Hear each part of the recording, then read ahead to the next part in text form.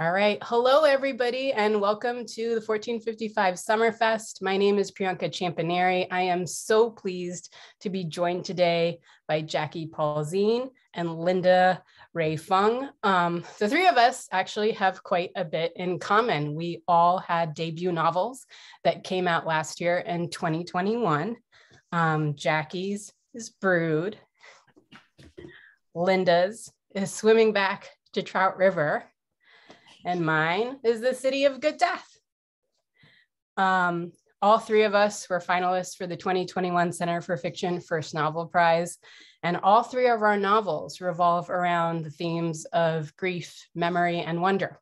And that's why we're all here today to have a discussion about our writing process and how we just the things that we talked about in our books revolving around those themes. So Linda and Jackie, thank you so much for being here with me today. Um, I'm gonna go ahead and dive right into my first question. We're gonna do this round robin style.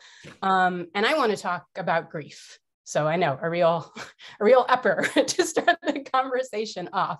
But I was so, so struck when I was reading both of your novels, how grief is really just kind of enmeshed in the core of both of these books. It really seems to be at the heart of the of each book, but it's also you're also both playing with it in different ways in terms of these like underlying and overlying strands of grief. So grief in big ways and small the small disappointments that these characters experiment experience in their everyday lives but also really larger griefs in terms of things that happened in their past that are still anchoring them down and preventing them from moving forward or future the possibility of future grief that affects the decisions that they make when they're moving forward.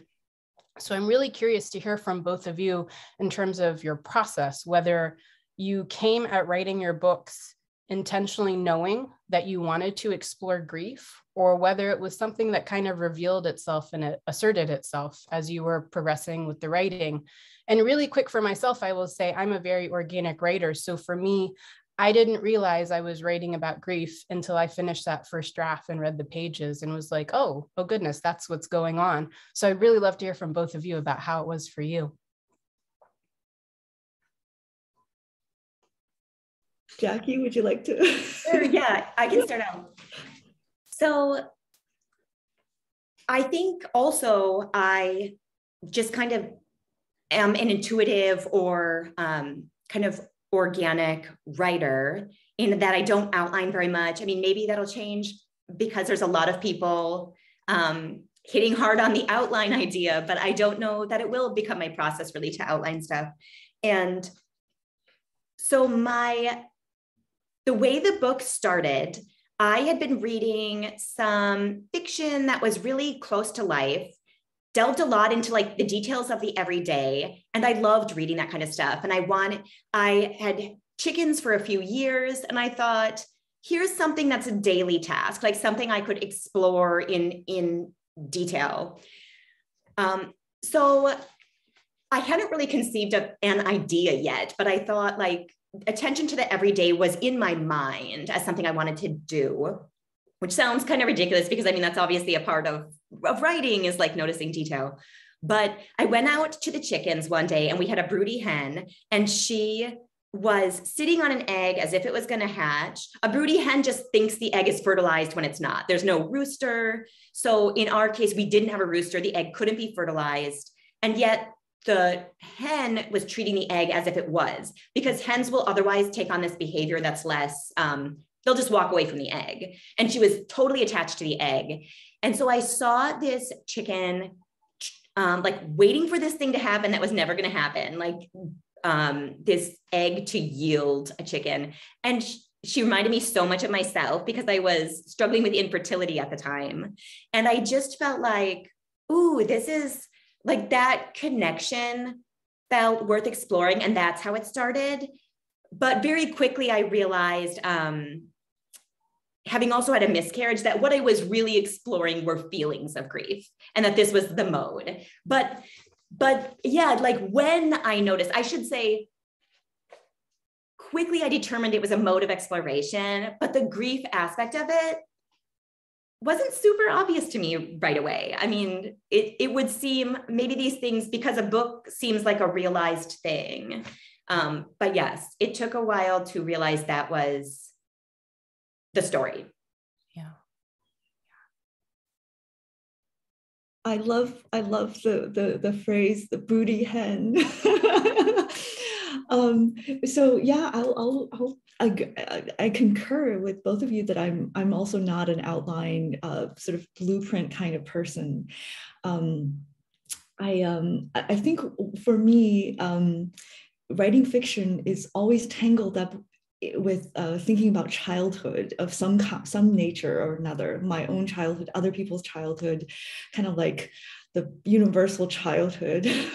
um, and so I, I, I, it was, you know, I never thought about it, but, um, you know, every, every story I started, every kind of like snippets of uh, inspiration I had when I was just starting out to write, um, always, uh, you know, brought me to something that touched on someone's childhood, if not mine. And one of the things I thought about uh, was one of the most exciting things in childhood is being let in on a secret in the adult world like when you know when you've discovered adults had secrets and they're saying keep it you know keep it that way it was most exciting thing for a child for me. Um and and and so really for me the the the uh, fiction and like of any scale um, kind of starts with the things that people don't tell each other, uh, whether it's a family not telling something to um, younger children, uh, you know, you know, of, of, various for various reasons, things that spouses keep from each other, uh, things parents keep from, you know, children keep from their parents and from their elders. Um, they're, they're, they're, they're exciting and tantalizing in a lot of ways.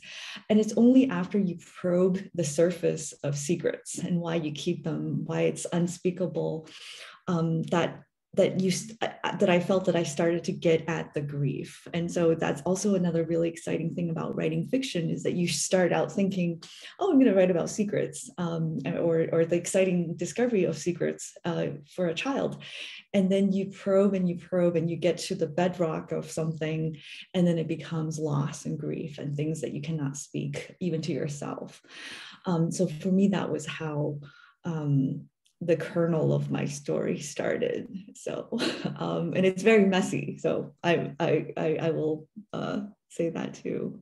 It's really heartening to hear that we're all organic writers because I'll I'll read interviews or hear from other writers who outline everything and I'll just think to myself, what's wrong with me? Like, why can I not have a plan? Why can't I because it for me it feels like it just takes so long and it just feels like you know shawshank redemption digging a tunnel out with the spoon and i don't know where i'm going and i got to turn back and you know it, it's it's so fraught.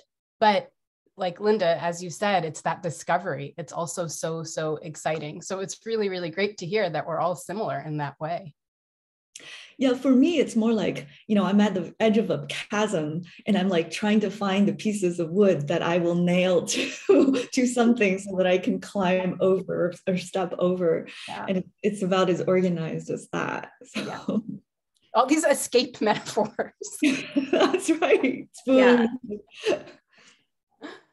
I mean, I love the idea of starting with a secret as like a writing, not like just a prompt, but like as a generative exercise, it feels really useful. Yeah, exactly. And this idea that I feel like all all books that are like propulsive in some manner, there is a mystery at the heart of it. And what better yeah. than the secret, right? Like yeah. finding out what that what that secret is and definitely that felt true for both of your books. There was some sort of little mini mystery kernel at the heart of it and you're trying to find out what's going on with these characters like what's driving them and what are they hiding. And same for you priyanka because that you know your book starts with a giant secret. Yeah. yeah. Yeah. I mean i think it's funny to be even in like included in this idea of how a story comes into being because brood is such a simple, it really is a very simple construct. But even that didn't, it's it's like a whole lot of not knowing to arrive at something even that simple, when I extrapolate out to the complexity of your stories, the cast of characters with all of their histories and motives and secrets and all of that, it feels like mind blowing to contemplate. I would need like a very disastrous metaphor to approach that task.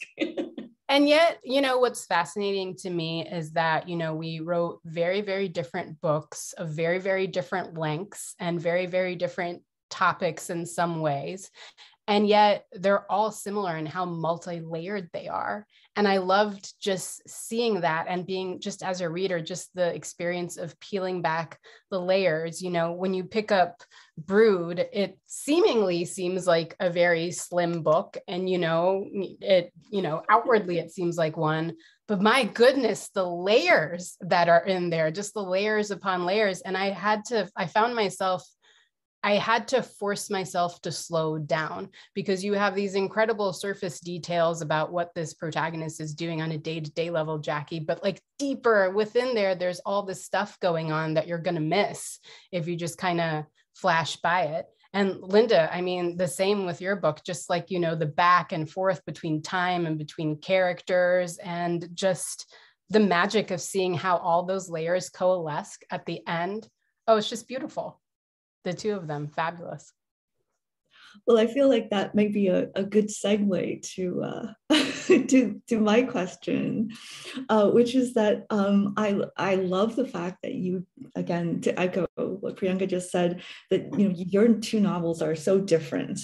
Um, but then i i noticed myself uh, admiring and really enjoying something that that you had in common which is um, the kind of eh, what I think of as a creaturely and tangible materiality of to, to, to everything that you write.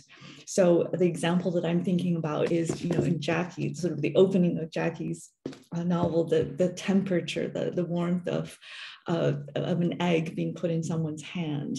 And in Priyanka, you know, you, you had so many uh, examples where um, we have uh, this, the, the weight of a, the sound, the heft and the sound of a clay pot as, you know, it's being kind of clamored or, you know, dropped or being lifted out of a well.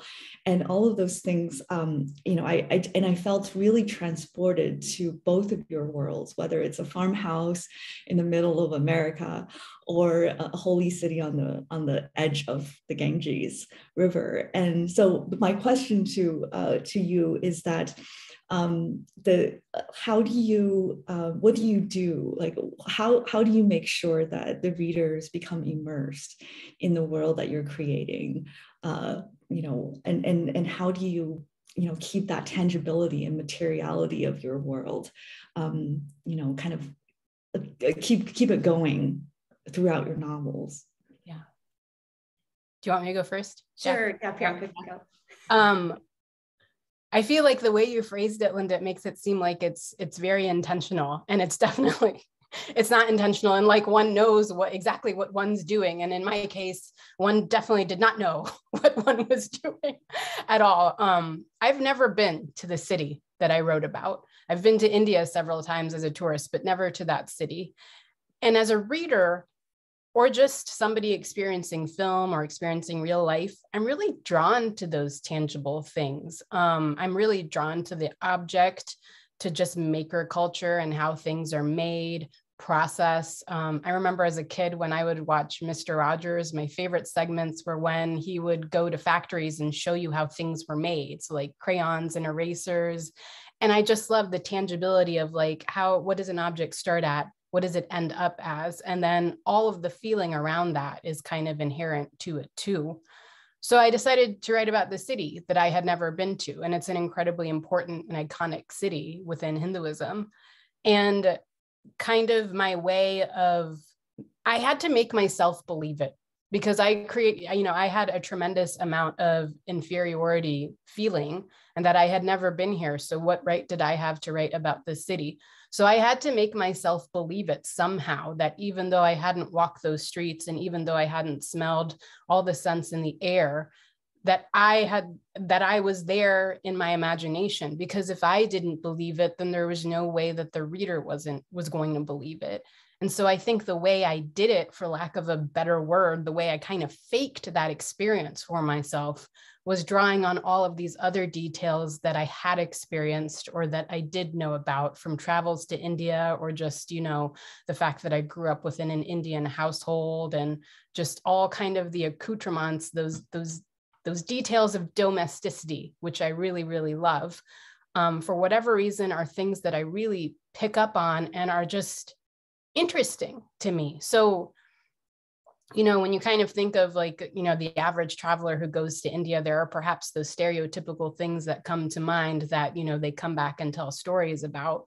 What I'm interested in is the laundry hanging out of the window or the smell that was behind that alley or you know like how many animals were down on the ghats like you know and what what color were the goats and just you know the stuff all the stuff like how many sandals were lying on the stone steps and what kind of cloth was the washer boy washing out i'm so interested in that and so it wasn't intentional on my part i think it was more stuffing the book with stuff that i loved while also kind of inadvertently an effort to create a world when I didn't feel confident enough at the time when I started writing.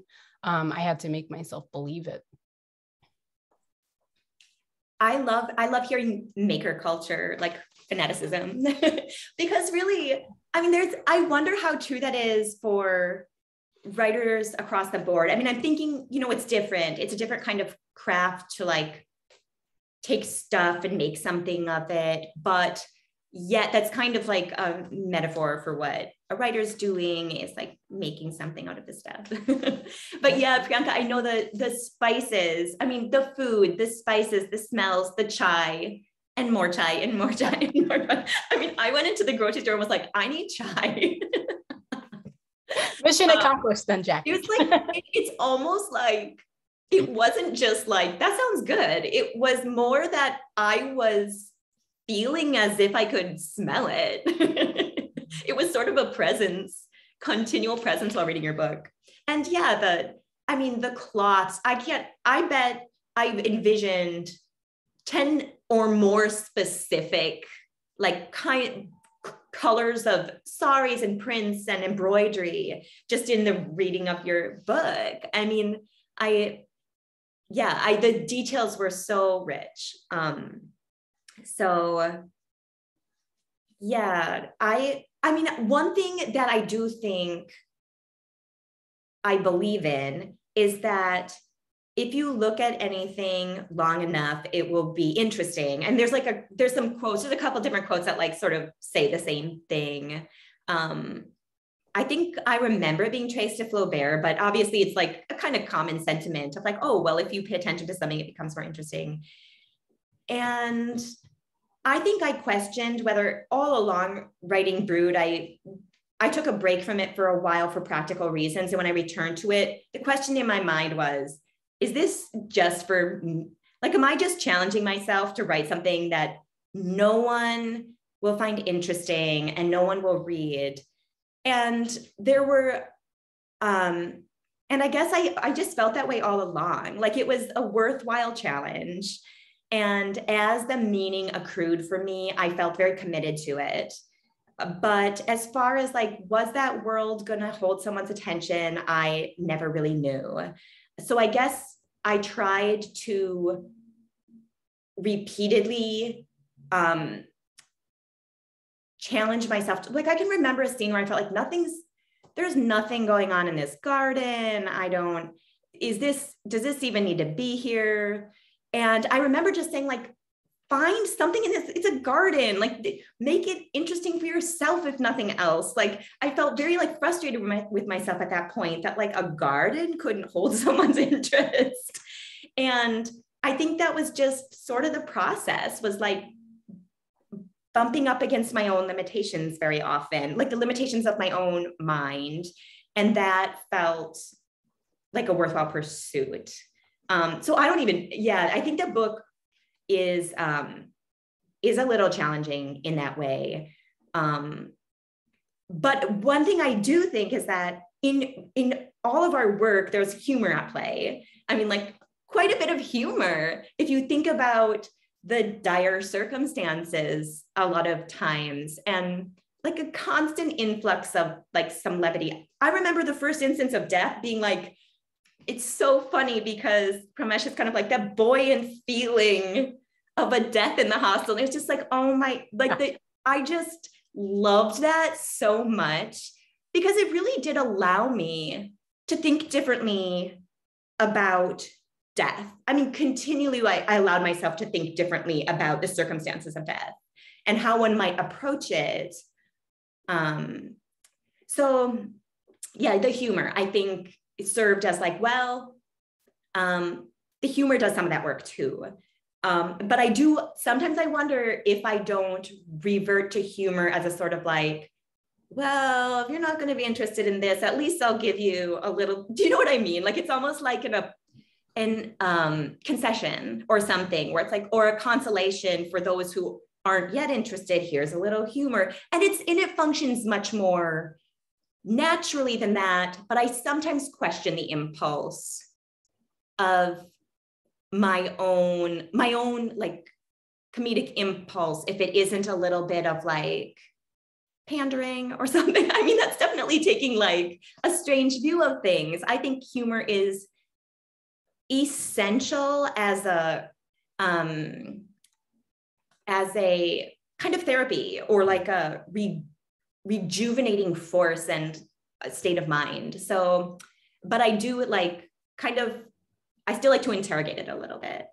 Yeah. And Jackie, I will tell you when you're talking about humor, and I, and I, was going to talk about this later too, when, when we just talk about wonder, but that scene with the raccoon in the alley and the suitcase, and you've basically, you've kind of personified him. I remember reading that and being like, if I could like frame a scene from a novel, I want to frame it. I loved it so much. And I think it's exactly the reason where you just come upon this this scene and it seems it's the absurdity of it yeah, within the circumstance which i absolutely loved and in, in, in, in a lot of ways i think it reminds you that the writer and and these people are people right so you can't be stuck in grief the whole time that there are other things like the world is moving around you and even though you're mired in deep grief there could be a raccoon in an alley like about to go on a trip with this suitcase yeah, and Jackie, I'll just jump in here to say that there's so many times that I laughed out loud um, when reading Brood, and um, I also say that you know. Thinking about attention and what it does when um, a, re- a writer trains her attention on an object like i felt like uh, you know you've written a page turning book about chickens i mean not just about chickens but i i was I held in thrall in so many um, uh, moments where I just felt like it was so suspenseful. You're talking about, you know, um, egg ducts or egg tunnel or and i'm just glued to the page. And i think this cannot get any more dramatic and suspenseful. So and that, I mean, that's funny because it, it, like, even just hearing it as a conversation does sound kind of bizarro. like, yeah yeah. um, yeah. but it's so engrossing and you learn so much. Like i'm hope like you know like you just learn so much and uh, for again i feel like as you you might have mentioned jackie like you know a lot of writers with maker culture like i feel like a lot of writers aren't interested in process not just of writing but of other things too. So in that sense it's like a writer's delight to read brood because you're just learning all of these things. And really quick linda i wanted to ask you in terms of like learning all of these things i was blown away while reading your book because I hadn't expected music to play such a big part of it just from reading the jacket copy and even just looking at the cover. And with your question in terms of like writing about these these tangible feelings and objects, I'm so curious about for you personally like was all of that musical knowledge something that you accrued over a lifetime or is that stuff that you had to learn for the book and i was really interested especially when you're talking about the various violins in the book. And at one point you know we not to give away anything but we're seeing the innards of a violin and kind of seeing like how a violin is constructed and the anatomy of a violin. And i was so transfixed by all of those details um, thank you. And I, I'm totally part, I, I love maker culture. I mean, not to kind of butt, butt in on uh, the answer Q&A part of this. Um, I, I love the idea of being able to see inside a violin. And um, and uh, you know um, uh, to say nothing about being able to put one together from pieces of maple and spruce. And so i'm fascinated with that. Um, but for me i'm um, I, I, played the violin for two years in high school and that was about the that was the end of my um, music career. And i've forgotten i would say 90% of what i uh, what i knew back then uh, but it, it has continued to be um, an obsession and I, I, I think about it as something that I don't, I'm really not a part of. So I'm extreme, extreme amateur, but trying to kind of peek into the, the you know, the, the little cracks in the blinds and kind of trying to, you know, see what's actually going on behind the, uh, the curtain a little bit. And and I think as a novelist, that drive is actually quite energizing. And that's what gets me, um, you know, writing and, and, and getting through the tough, really the challenge of putting words to paper because I'm constantly speaking of wonderment. Um, I'm I, am amazed about um, by the intricacy, the materiality, and you know the non-material aspect of music making and uh, music performance. So yeah, but not to um, take away from uh, you know the general uh, question. No, you're not. And I will say that even though you're calling yourself an amateur, you had me utterly convinced um, throughout throughout the book. Um, that might not be saying a lot because I have zero music knowledge, but I mean, I I thoroughly enjoyed that aspect of it because I could sense that there were links happening that I needed to go and brush up on my own knowledge. So I was able to enjoy the book on one level, but also be aware of another level that I was missing out on that I could access if I just educated myself a little bit and I'll say for both of your books, I, I, you know, as soon as I read them, I want to look up everything I can about the topics, about about about everything that you guys touched on in the novel. And so, for readers who are, uh, you know, thinking about picking up either of these novels, uh, you won't be disappointed. I spent a lot of last night looking at pictures of the earthquake that comes into, you know, its peripheral, its its peripheralness and its context in the story. And it's certainly like a force in the story. And I um yeah, I felt um, I'm sure I've heard of it, but that is such a like recurring tragedy that I think it's very easy to get just like um I was amazed by it as a cultural moment. Um, so my I have a question that was actually like part of this question in a way. It's sort of about this, it's about the world building and how you do it. And maybe um it was a it was sort of like how do you it's maybe very similar, but almost like how do you inhabit that mindset? How do you get yourself in the state of mind that is the music the person who, for example, music is a calling and it's innate in their system. And Linda, you embody like many, many different characters, and they all have different relationships to music, some more than others, but the musicality of the writing all throughout just like unifies their story. I mean, there's a sense that sound becomes, you become so aware of, of sound and and music as it's presented through other senses as well, like a force in the body, a feeling in the body, what the visions it provokes in people. And it almost becomes like the landscape becomes the kind of music. It's just something about the state of mind you put the reader in, which is, and so I just wonder about how did you access that state of mind or create it and then I have like a little change up on the question for Priyanka, but like it's all like, how did you get the mindset of this world? Okay, so I'll start then. um, so for me, the mindset is actually very natural because I love people who are obsessed.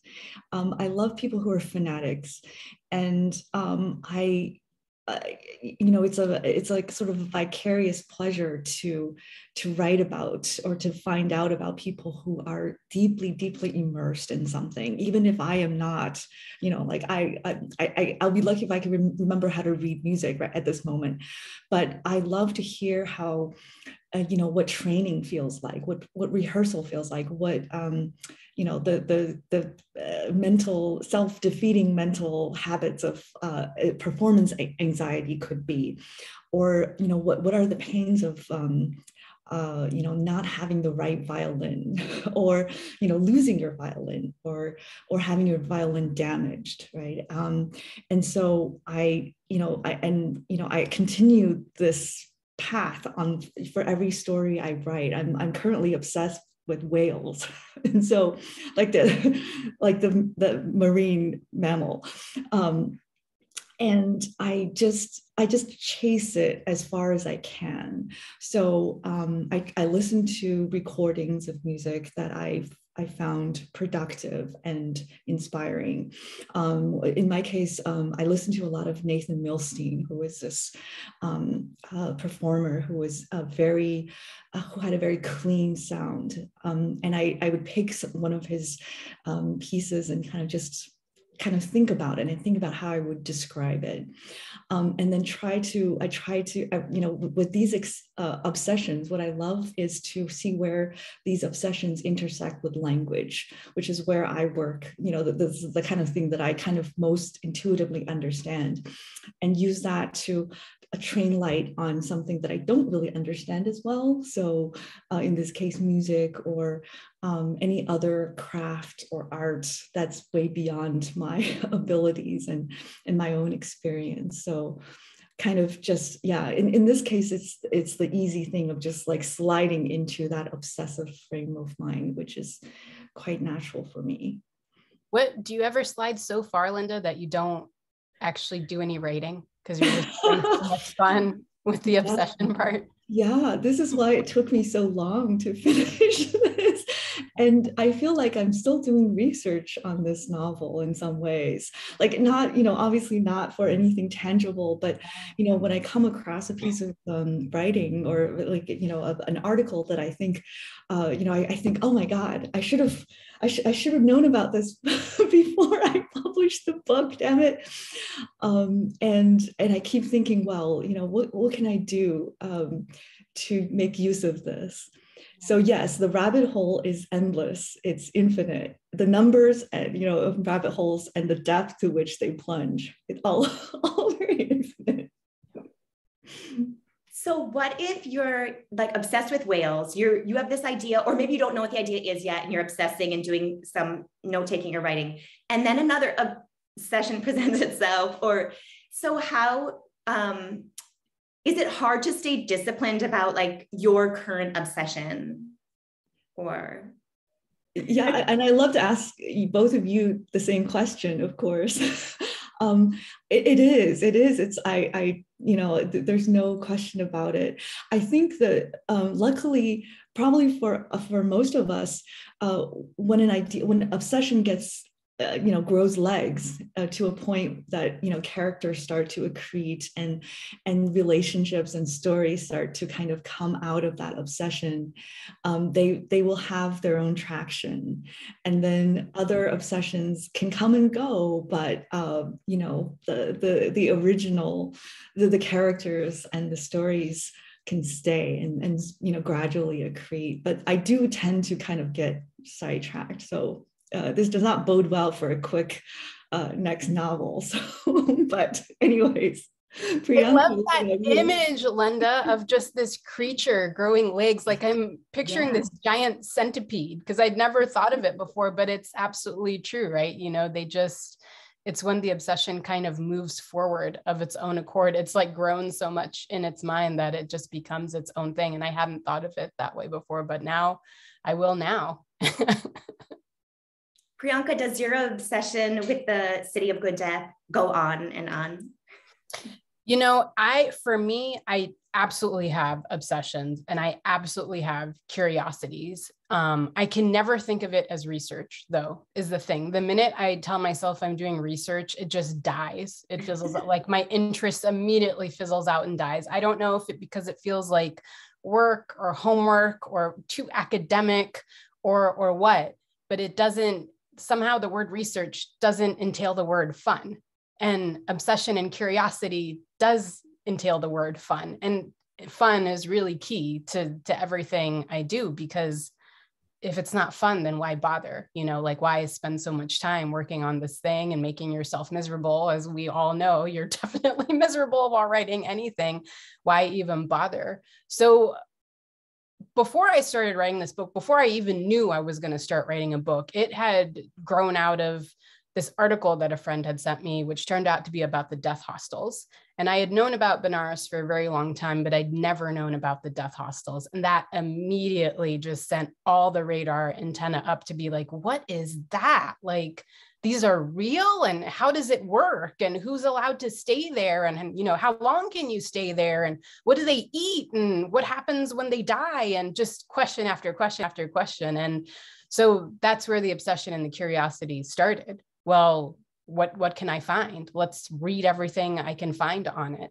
And in the strange way that either the universe aligns to give you everything that you need in that moment or perhaps you're more attuned to noticing these things in the moment that you need them i just started noticing all this material on benares just like plopping my way so we got a magazine delivered to the house and there was a feature story on Benares. I was flipping through public television and there was a travel show on Benares. Like just all these like, you know, just random eh, seemingly coincidences about it and I would just be there for all of them because I just wanted to know. I was accruing all of this knowledge, never thinking of it as accruing knowledge.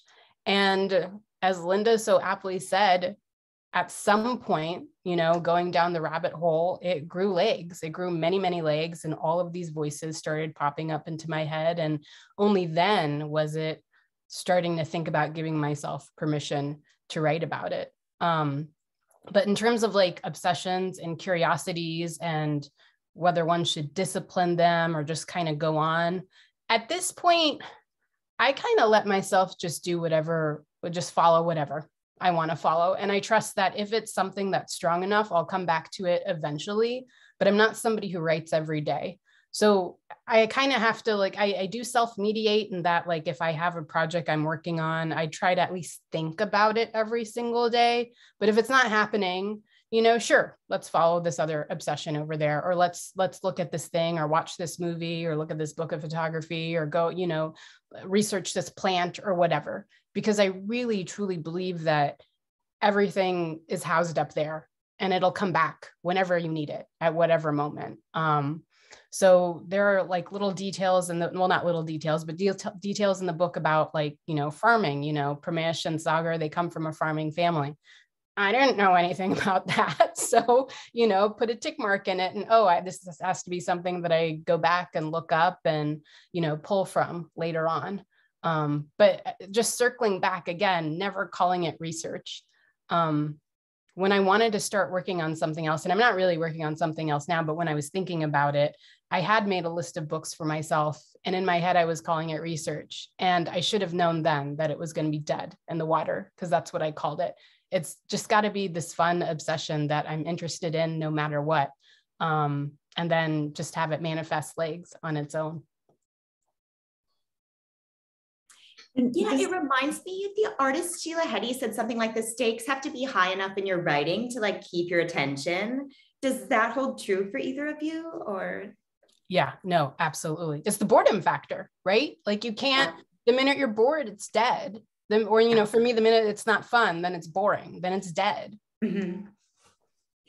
Yeah, I think I also think of um, writing and, and the creative process as like a suitcase that I can use to hold all my obsessions. so kind of, you know, like, you know, go to the farmer's market and you kind of get everything that you want, but ultimately you have to have a tote bag to kind of take it home. Yeah. And and there are moments when I was writing the novel when I felt like I was using the using the novel as a way to kind of get at all the tiny obsessions that I had developed over my decades of life. And so probably, you know, I, I like, you know, not calling it research.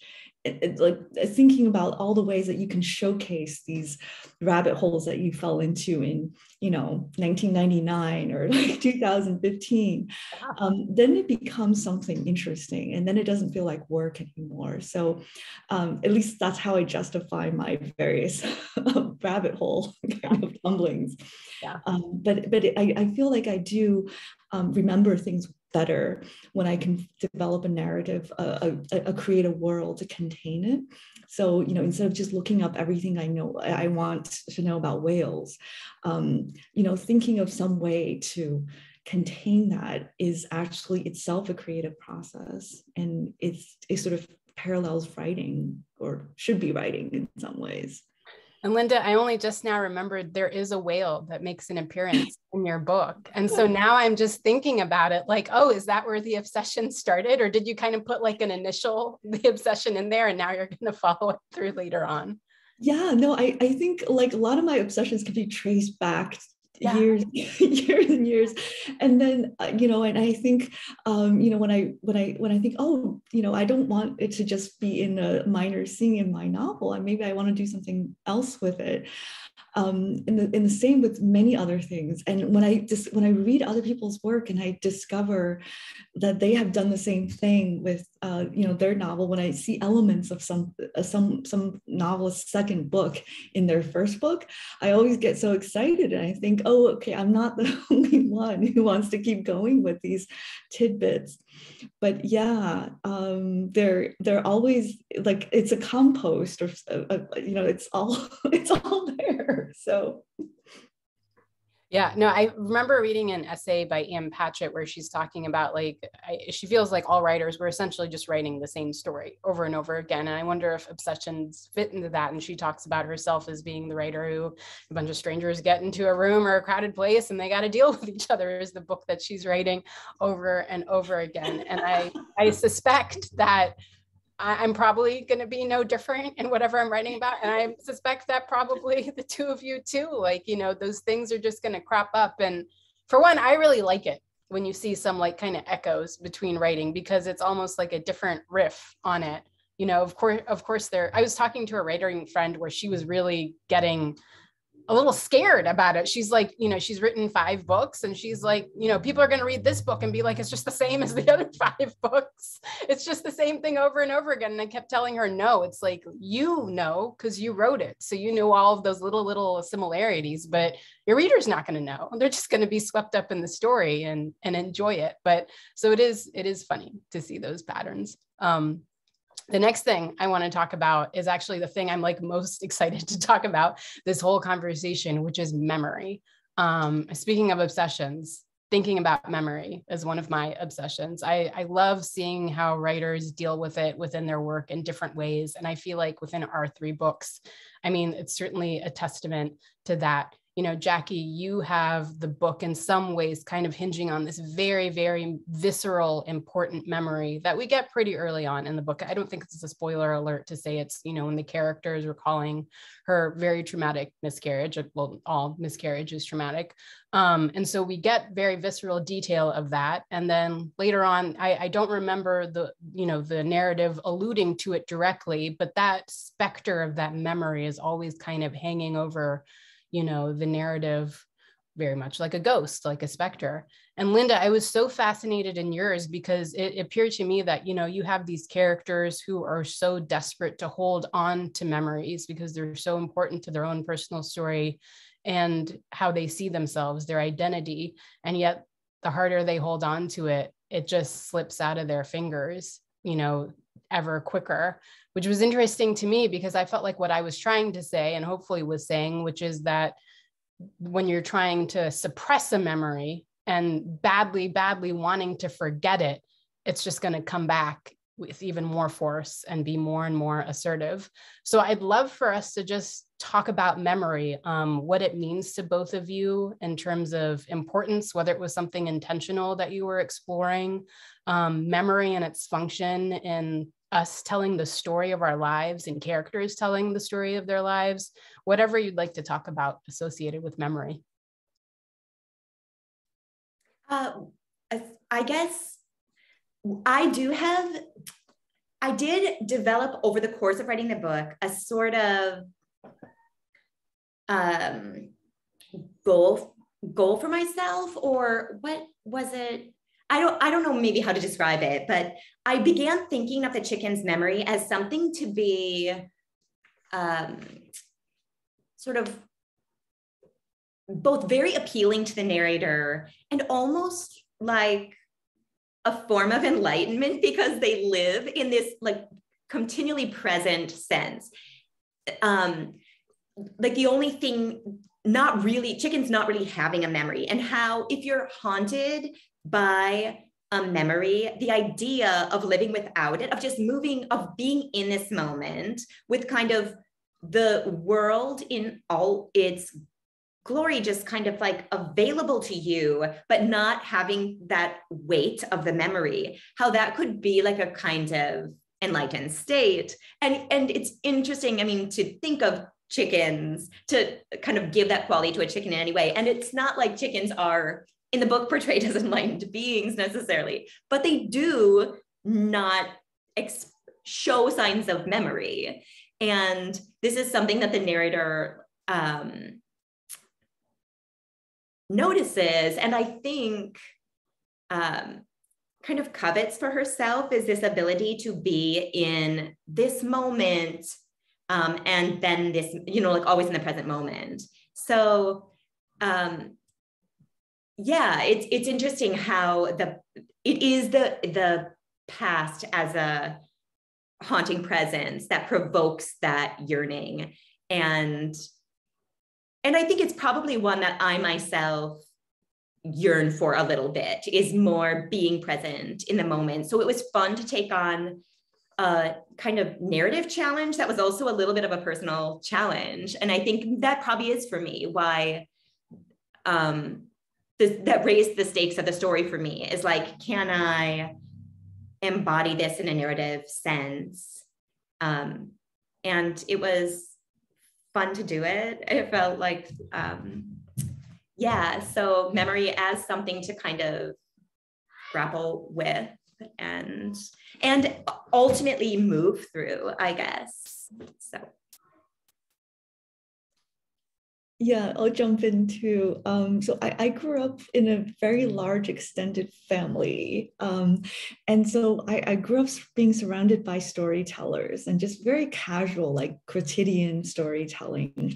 Um, and I, I love the idea that memory could extend beyond our own generation and beyond our own years and I I love so on one hand, so that's the wonder part for me. Um, I, I've experienced that I I benefited from that tremendously. It's built my mind and it's it's made me who I am.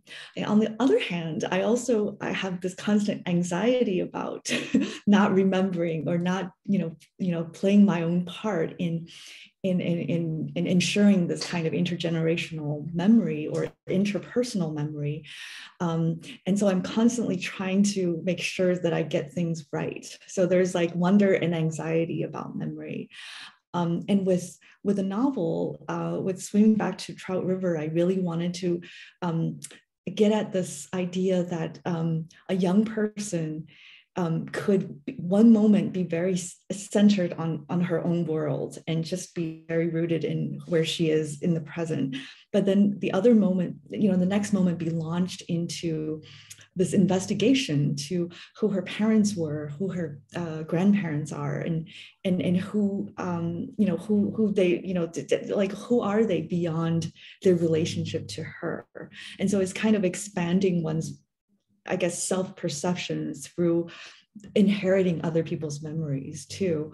And I love that process. And I think that's it's it's a very meaningful process and you know if there's like one thing that i can write about over and over again in all its uh, glory is is that that process of how everybody does it and what you know what what, what the frustrations and therefore the secrets um, the, the, sort of ineffability about it and all the obstacles that that entails, um, the opposite of memory, um, and thinking about ways that our own attempts at it fail is also really interesting because I think about sometimes uh, you know what, what we you know what we learn most about a process is when it breaks down, and you know when something goes wrong. And so, yeah, I think of memory as in, in those those sort of intergenerational terms. Yeah. And how fallible our memory truly, truly is, um, which makes me just think of those chickens again, Jackie. I mean, they really do if memory is so fallible, it it essentially is a flawed construct for us to build the story of our lives on. Um, maybe one really should just be living in the present because the story we're telling ourselves is it, it, has to be a lie or it has to be flawed in some sense. Certainly some parts could be true but other parts you know everybody is remembering differently.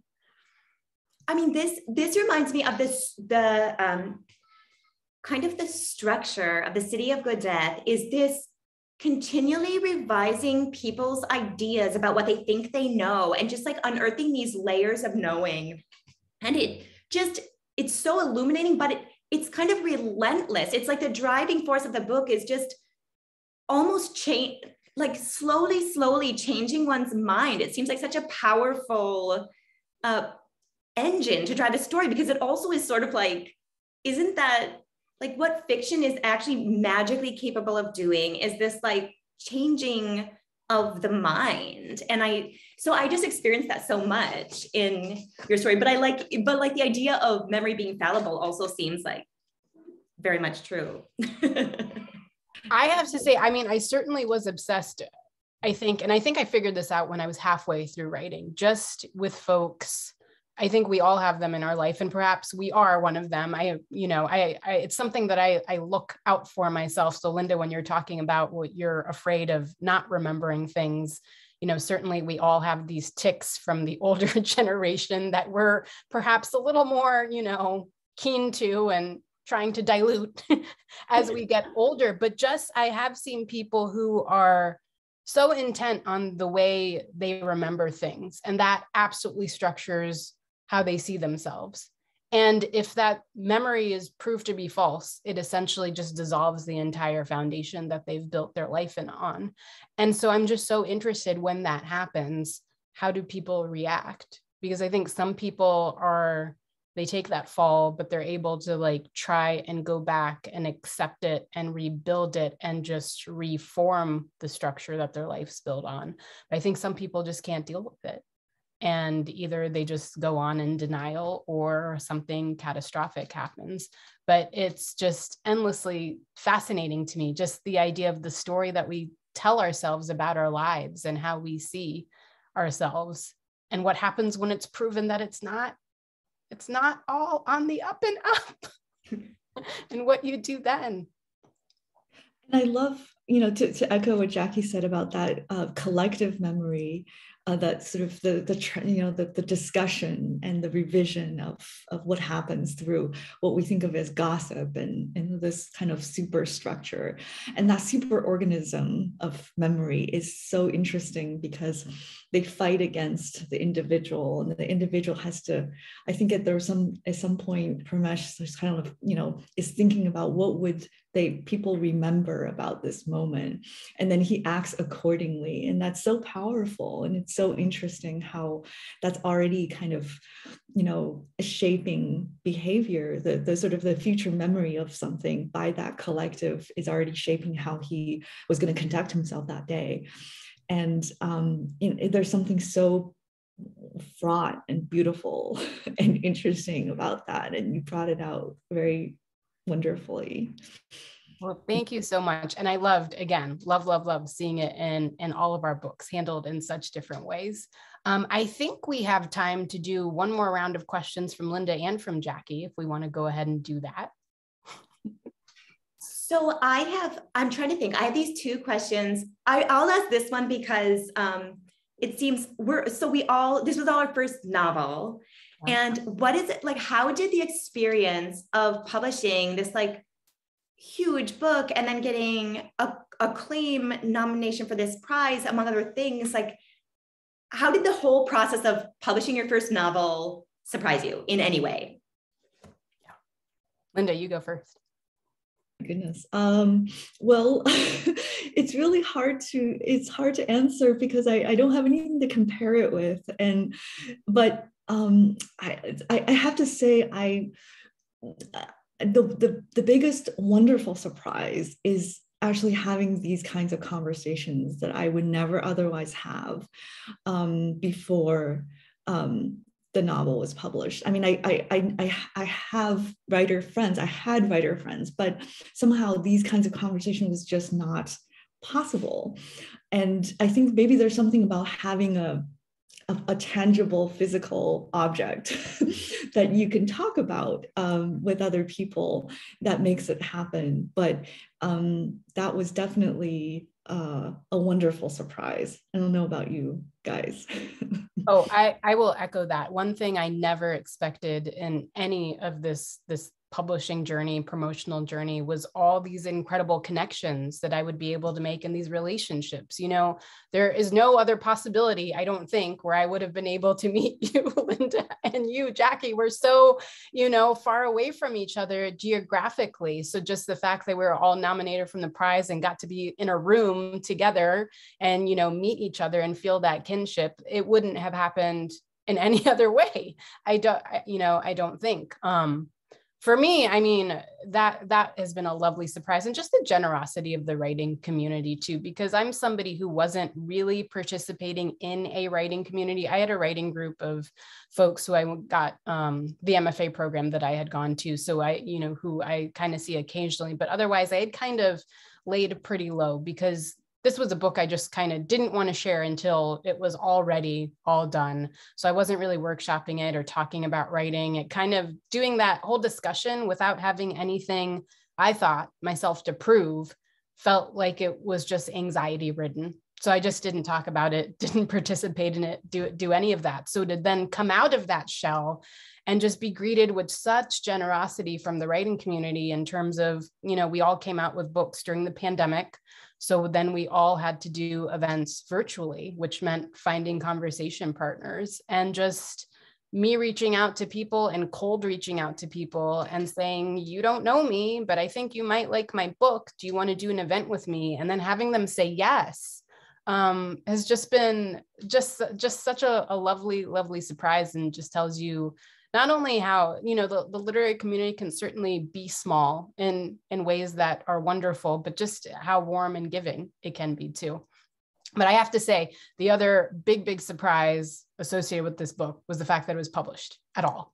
Um you know just the fact that that happened because it was rejected by literally everybody who could reject a book in this country in the UK in Canada and India everybody rejected it. And then I happened to win the prize that my publisher puts out. And that's the only reason that it was published. So for me, when that happened, given the fact that it took so long to happen and it came at a point where I thought it was definitely never going to happen ever, it just made everything else just it just it just makes you it just makes it wonderful right if you're never expecting it to happen to begin with then anything you get after the fact is just an, an extra cherry, I guess. It's so surprising to hear a story that story about your book because one time my sister, who's a painter, was telling me like I this is long before I wasn't even working on this project yet, but she just said you never hear about people's attempts that aren't successful. You assume that people are successful repeatedly and that's all that happens to them. But it's all of this failure. And then there's these moments of success, which is what you see in the world and that was helpful to hear but i but i still like um don't imagine that for other people other than myself. Right? Yeah. Yeah the book being published is far and away the biggest surprise to me. Um and and now i go back to feeling like to like the before. I, I really do feel like going back to the before and like um i like i like the working mindset of um this is my like private pursuit or this is this is with that you know not being will never be judged will never maybe never be read even though yeah i yeah. So i'm i kind of gladly return to that mindset of the obscure or something yeah. I've absolutely had the fantasy very very grateful and humbled by this whole experience but i've had yeah. the fantasy of maybe i'll just write stuff and never share it with anybody and then when I die, maybe like they'll find it and do whatever they want to do with it, but I'll be dead, so it won't matter. but then you won't meet all these people. I know, I know. Literally, the community is like the blessing. I know. It really, really is.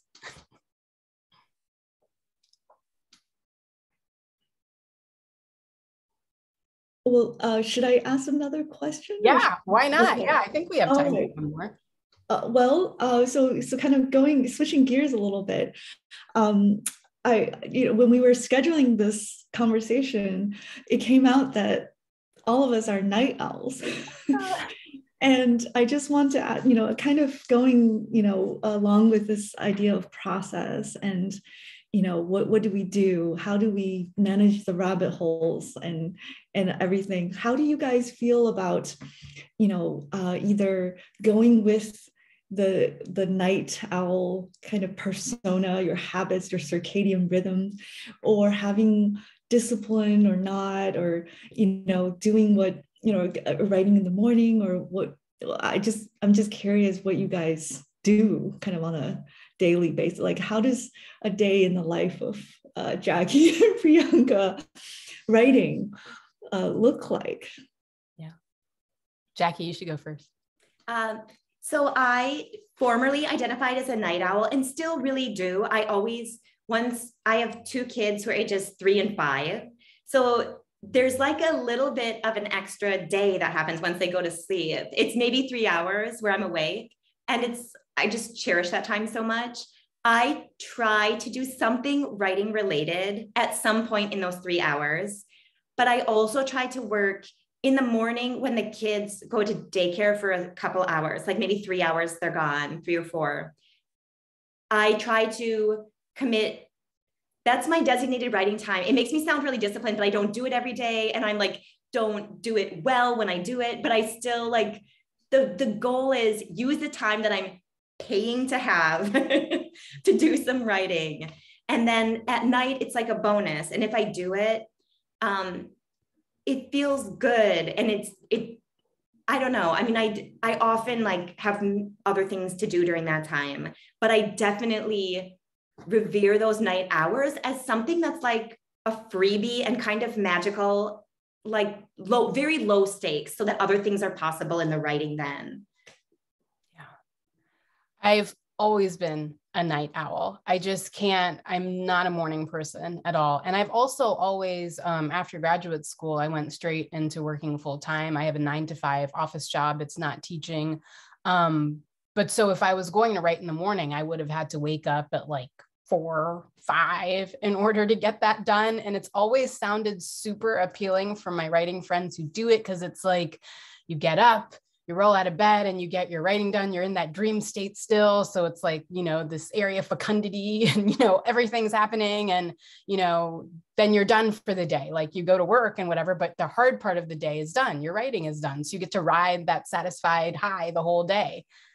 I just can't do it. I just cannot wake up early for the life of me. Um, and so it just always happens it just always happens at night. And it's also um, it, has got to happen when the house is quiet. There's nobody left in the house for me to talk to and distract myself with because i'm really good at just puttering around and you know just creating lots and lots of distractions for myself. So it's got to be when everybody else is asleep the whole neighborhood is asleep you know the streets are quiet it's dark. And i think it really is like just creating this atmosphere where it feels like nothing exists except for me and then you know that notebook or that laptop screen in front of me where you can really kind of just like dive right into the page and get rid of that barrier. And also the need to sleep eventually is a really great motivator. Because if you start at a certain time and you're like well i have to go to bed in two hours because i gotta go to work tomorrow otherwise i'm going to be a zombie then it does it does like force you to write something. But the downside is like that satisfied high that you get when you actually feel like you were productive I only have it until I go to bed. And then when, you know, the clock starts right up again when I wake up in the morning and I just can't, I can't keep that high going. So it's just like this constant, it feels like a very masochistic cycle where I can never, you know, enjoy whatever I did the night before because it's so short lived before going to bed. But I can't, I just can't do it any other way. Um, I've tried and I don't know. I think, you know, just like the fact that I don't write outlines and it's very organic discovering the story. Um, I've, I came to peace with that a very long time ago, that that's how I was going to be. What about you, Linda? so so this is a selfish this was a selfish question because i'm constantly trying to figure this out and so just to amend my previous answer about the the surprise post publication is that another surprise is that people ask us questions like how do you work? And what is your process? As if like i know.